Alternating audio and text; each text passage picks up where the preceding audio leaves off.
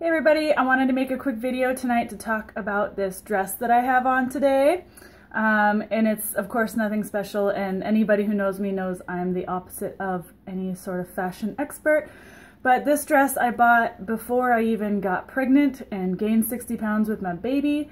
Um, I bought this thinking it was cute and got home and of course didn't try it on. I got home and thought, why did you buy this, you idiot? You're never going to be able to fit in this. It was a size 6 and I was a size 8 even before I got pregnant. So um, I thought, well, I'll just keep it and maybe someday someone will wear it. Well, about six months ago, I after I had lost 34 pounds using the 21 day fix, I put this dress on and surprise, it fit.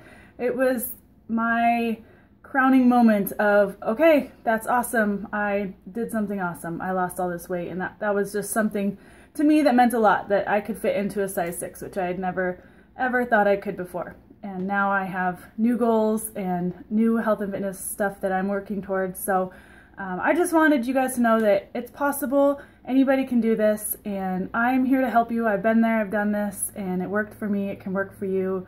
I'm busy mom and I make it work. So um, we have another challenge group coming up and I would love to have you guys in it. Just let me know.